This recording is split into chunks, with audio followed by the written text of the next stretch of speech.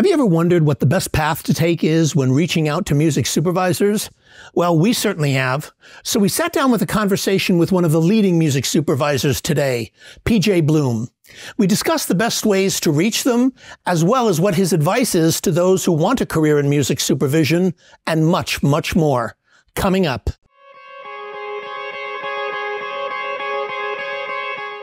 This episode of the Mubu TV Insider video series is brought to you by the Music Business Registry. The Music Business Registry is the leading music industry publisher of the most up-to-date contact information for major and independent record label A&R, music publishers, artist managers, music attorneys, music supervisors, and much, much more. The Music Business Registry is the trusted industry standard and source serving the music business community for over 30 years with the most accurate and up-to-date contact information available. Their titles include the A&R Registry, the Film and Television Music Guide, the Music Publisher Registry, and the Music Attorney Registry. All of their publications are available in PDF, CSV, or online subscription. Visit musicregistry.com and use coupon code MUBUTV10 at checkout. That's musicregistry.com coupon code MUBUTV10. When you're ready to put your music to work, musicregistry.com. Hi, we're back live from Sync Summit on day two, and we managed to catch up with one of the top music supervisors, PJ Bloom, which I'm thrilled to introduce you to. PJ, thanks so much for doing this. Thanks, I really Ritch. appreciate it. Always good to see you. It's good to see you too. You know, uh, one of the things I've always wondered about music supervision is how are music supervisors chosen uh, from a project? Are they chosen by the network, by the producer, by the director? How, how does that work, or does it work different in different mediums? Uh, it happens in a variety of different ways. Um, the the way it happens most often is that is that a, a, director or producer or some key executive member of the production staff has a relationship with the music supervisor, um, and uh, they we come in that way. Um, sometimes, if there's a need for a music supervisor and a director and a producer doesn't have a relationship with one, then the studio and network will will come in and uh, make recommendations recommendations, and those recommendations are are either made by uh, the creative needs of the show. If a music supervisor has a particular skill set, like you know is really good with on camera music or knows a lot about hip hop, uh, or if uh, if that music supervisor has a, a, a, deep relationship with that studio, and you know that person's worked a lot there, and they they trust that uh, they'll do the job. They come in that way. Okay. Yeah. Can you talk about what a typical day in your workday would be like? What what what are the things that you're doing, uh, or does it depend on what you're working on?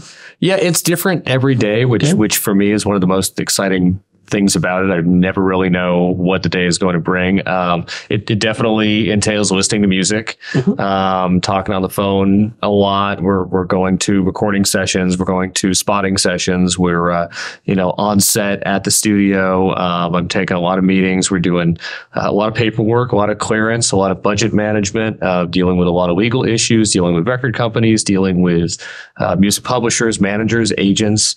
Um, you know, the, the, the great thing about music supervision, and one of the things that I love most about it is it really sits in a very centralized place within the music industry. So we touch so many different parts of it. Um, and now um, with um, you know different different branding and the cross collateralization, uh, excuse me, cross collateralization of uh, promotion and marketing, we're having more conversations with with radio departments and you know digital media and um, social outreach um, and a lot of different a lot of different things that uh, you know we didn't touch ten years ago. Uh, but we you know there's so many things that we're doing and and um, you know a, a lot of it is listening to music and discovery, but there's there's a ton of other stuff that happens every day.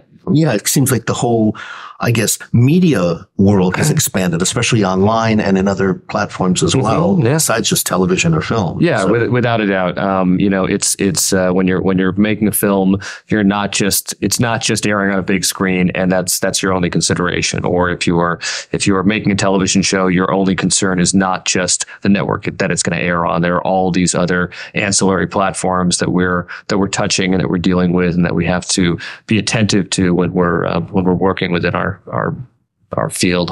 Okay. Yeah. You're the music supervisor for the massive hit, massively big show, uh, Glee. And one of the things that I want to ask you about, because it's an interesting aspect, there's a lot of live performance or performance of music on camera on the show. And I'm curious, as music supervisor, do you have to clear all of that prior to shooting, or does it happen in, in after the fact? Well, uh, it's it's it's for the most part all of the performances. Well, for all of it, uh, all performances are cleared um, in pre-production, which is which okay. is very unique to Glee, right? Um, and and and I would say unique to any other performance show. Like Nashville does the same thing. You know, eighty percent of the time on a normal scripted television show, or or even reality or cable, you are dealing with music clearance in post-production after the film is mm-hmm. shot, after the television show is is shot and we're constructing it in post. 80, 90% of, of it is handled there.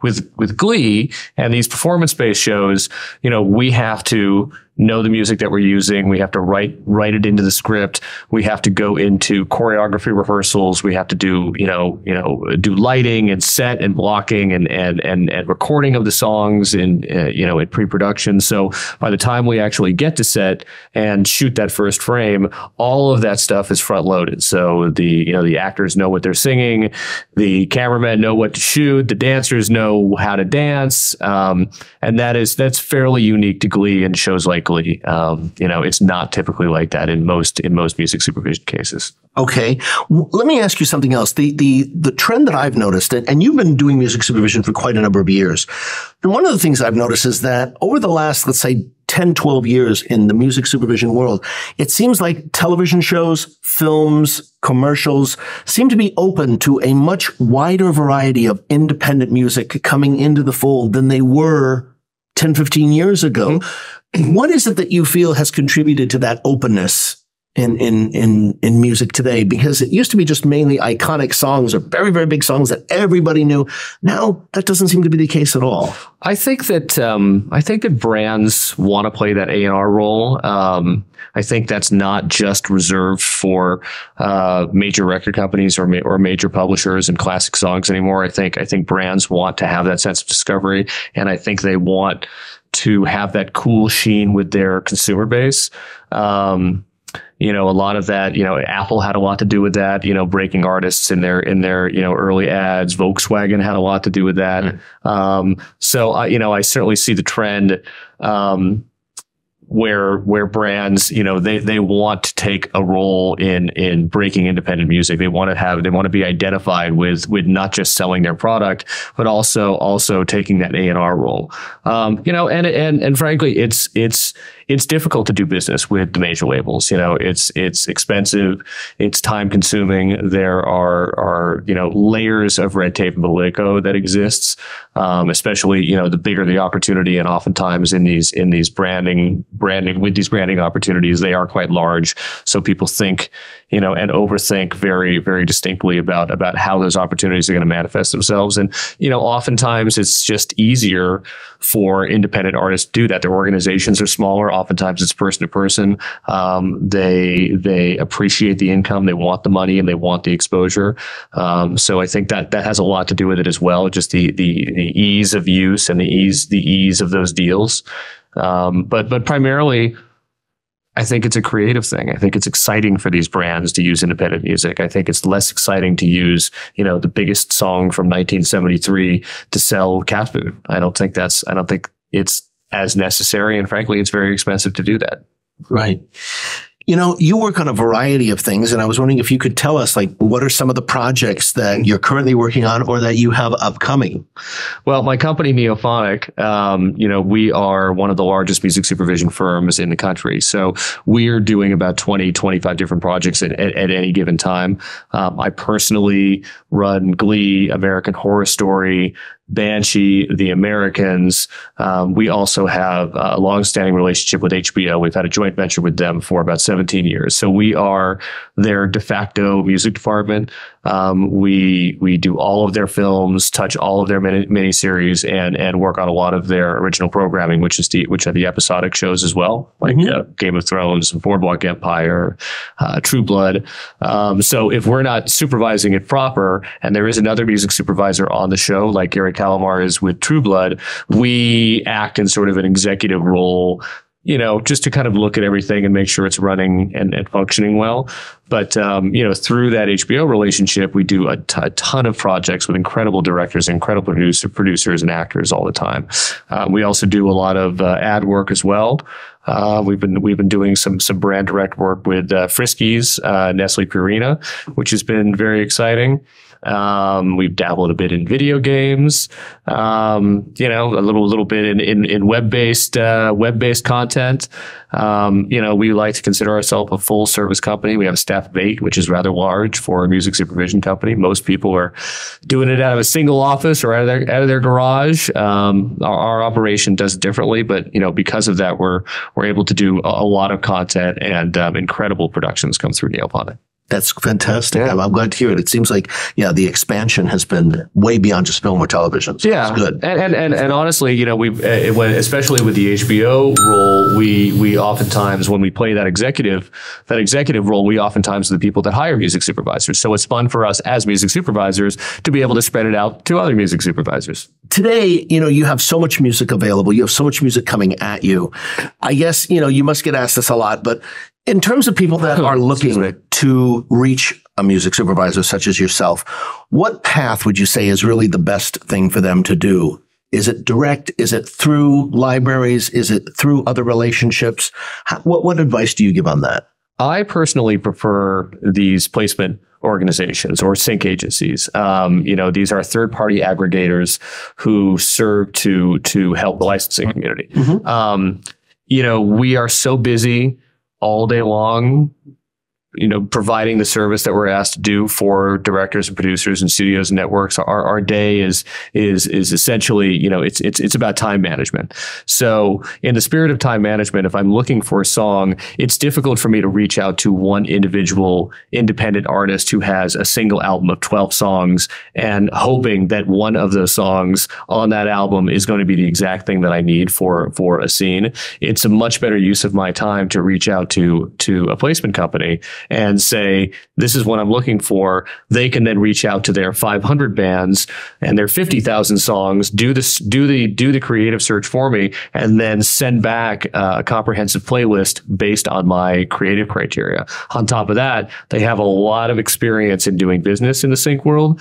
Um, they speak my language. They understand the legal and business affairs uh, process, mm-hmm. um, which often doesn't exist with with individual artists. You know, artists are busy being artists as they right. should be. You know, right. they and artists aren't always the best business people. So these sync agencies and aggregators um, serve a creative purpose for me, and they serve a great business purpose for me. Um, so I prefer to do business in that realm. It's it's easier, efficient, and and they're they're really great, high quality music coming out of those places a lot of people watching, you know, dream of being music supervisors. They want to do what you do. And a lot of people, I think, have a misconception of what a music supervisor in terms of the skill sets actually does. They think it's just somebody who has incredible knowledge of music and, you know, can come up with ideas. I mean, that's what you most commonly hear. What advice would you give to people who want to pursue that as a profession? Music supervision as a profession? My advice would be learn the business side of it being creative and being passionate about music is is obviously critical. And and at its core that's a wonderful thing. But there's a lot of people who know a lot about music. You know my plumber knows a lot about music. It doesn't make him a great music supervisor. What makes you a great music supervisor is your ability to to execute the creative ideas that you have and serve the creative needs and the business needs of the people that hire you. Um, it's not about just just coming up with great song ideas. It's about understanding how to execute those, those ideas, which has a lot to do with, uh, you know, legal, copyright, publishing, um, you know, record company politics, uh, money management. Um, there's there's technical issues.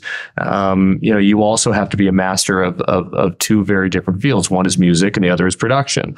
So, you know, the, the, the creative aspect of it all is the sexy part, but I don't think that's what makes you a great music supervisor. And I know that's not what gets you hired. What gets you hot, what gets you hired is your ability to execute not only your ideas, but the ideas of others and do it efficiently and on time and, and, and on budget.